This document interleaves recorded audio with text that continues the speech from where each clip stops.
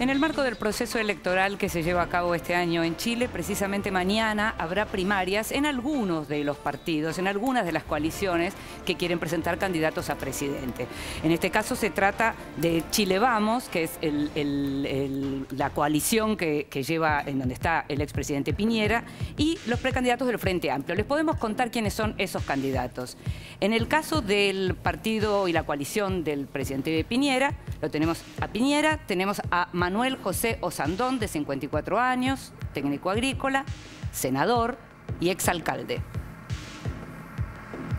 Y tenemos también un hombre joven, Felipe Cast, 40 años, diputado, economista y exministro de Planificación.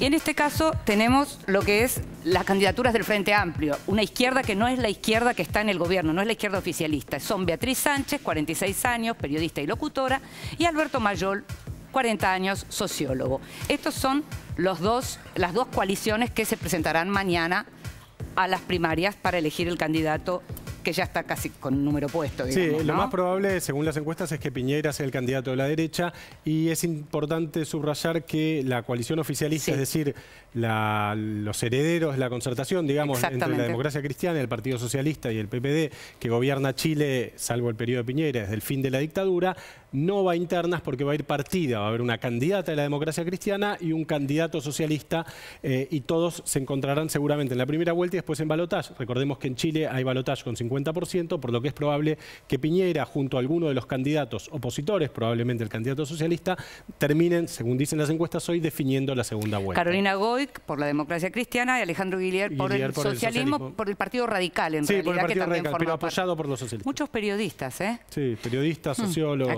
Hay algo del orden de lo extrapartidario Muchos periodistas ahí como candidatos. Prepárense.